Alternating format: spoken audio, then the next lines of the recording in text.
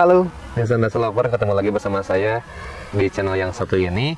Kali ini saya berada di uh, Datsun Cross ya. Datsun udah uh, banyak melakukan perubahan ya. Ternyata pada sisi interior dan juga sisi eksteriornya ternyata ya. Datsun Cross ternyata nyaman juga. Ini terlihat dari beberapa fitur yang di ada di Datsun Cross. Terutama dari segi head unitnya udah rubah ternyata dari yang dulu. Uh, hanya biasa sekarang udah luar biasa.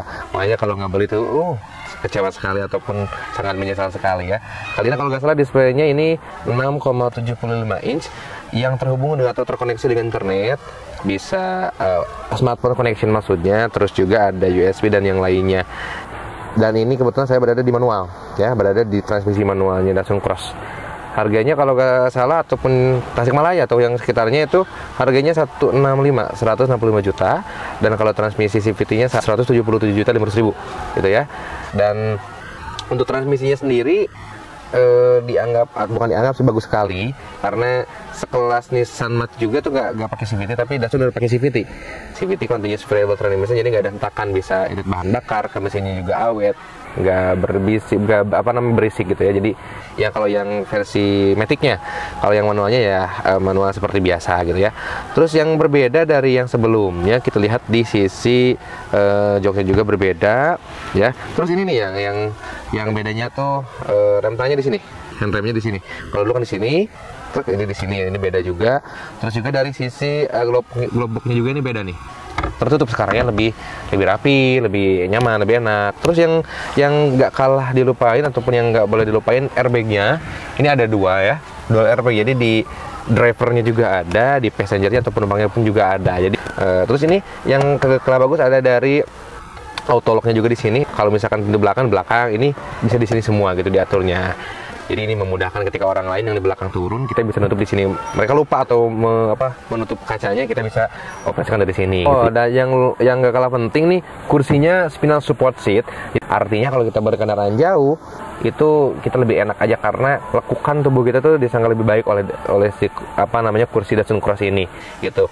Terus ada ABS. Nah, ABS. Jadi eh, menghindari penguncian uh, saat kita ngerem gitu ya uh, ABS terus juga VDC vehicle dynamic control. Jadi kalau misalnya kita uh, berkendaraan tidak hanya di dalam kota saja ketika kita keluar kota ataupun ketika kita menuju jalan yang tidak terlalu bagus itu ya seperti ada limbung itu bagus sekali ada V dibilang tinggi juga tinggi 200 mm ground clearance-nya gitu ya. Jadi kalau misalkan juga kita berjalan atau mengendarai ini ke daerah pegunungan ataupun ke jalan-jalan yang tidak tidak aspal itu enak sekali karena ini tinggi sekali gitu ya uh, oh iya auto proyektor lampunya. Ketika kita masuk ke terowongan jadi dia otomatis nyala sendiri yang sensornya dari sini nih. Ada dari sini dari depan. Itu sensor dia tuh sensor cahaya yang di mana kalau kita masuk ke dalam uh, apa namanya ruangan yang gelap kita sendiri. Nah kalau misalkan terowongannya udah keluar lagi ke daerah yang udah apa namanya terang kembali dia off kembali. Jadi dia auto lamp uh, jadi kita nggak usah repot-repot gitu ya Terus juga ada rail, maksudnya untuk menyangga beban di atasnya. Kalaupun misalkan dirasa banyak banget barang bawaan yang dari luar itu ya, yang dari masuk ke bagasinya bisa diamankan di atas. Itu bisa menampung 30 kg.